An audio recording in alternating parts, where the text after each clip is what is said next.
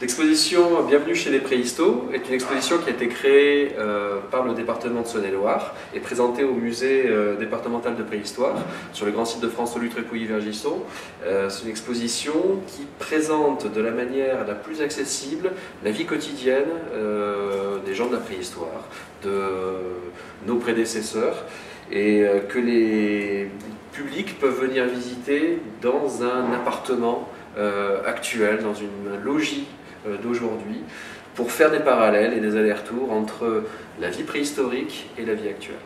C'est un petit côté astérix dans la préhistoire, finalement, on est dans, un, anachronisme euh, assumé qui est euh, une façon de traiter par l'humour, par la, une petite dérision des sujets scientifiques finalement. On, reprend, on, reprend la, on prend la connaissance des modes de vie, en passant par euh, notre vie actuelle. Donc cet humour-là, il est, il est, facilitateur finalement du, savoir. On apprend quand même des choses, on s'immerge dans la préhistoire quand même. On a vu des outils, on a vu des crânes, on a vu des objets, on a, on a vu des différents thèmes qui touchent la vie quotidienne. Hein. On, est rentré, on a posé ses affaires, on s'installe dans le salon, on va manger, on va dormir, on va dans le jardin. Donc on apprend forcément quelque chose même si limite si on lit rien, même si on regarde que comme ça euh, autour de soi, c'est toujours euh, immergent. Là, on est dedans et on peut la vivre l'exposition. On la ressort, on a vécu euh, bah, un bon moment. Voilà, on est passé, bah, on a été visiter les ancêtres.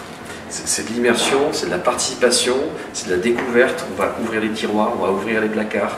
On est vraiment dans, cette mise en situation qui fait que on a envie d'accéder à la salle suivante et de voir quelle surprise on nous réserve encore ailleurs. On a vraiment flashé, on peut dire, sur, euh, cette exposition Bienvenue chez les Préhistos, parce qu'elle correspondait justement déjà au, public du musée de préhistoire. Elle correspondait aussi à notre volonté de présenter une exposition assez festive dans le cadre des 20 ans du musée.